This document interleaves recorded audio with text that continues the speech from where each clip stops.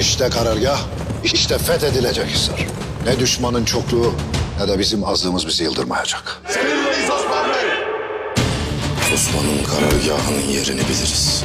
O karargah olmadan köprü hisarı adım dahi atamaz. Kimin kellesinin düşeceğine gayrı ben karar ver. Bu asiliğin sonunun ne olduğunu hepiniz bilirsiniz. Bu gece Osman'ın karargahını kana bulacağız. Bizans size cehennemi getirecek.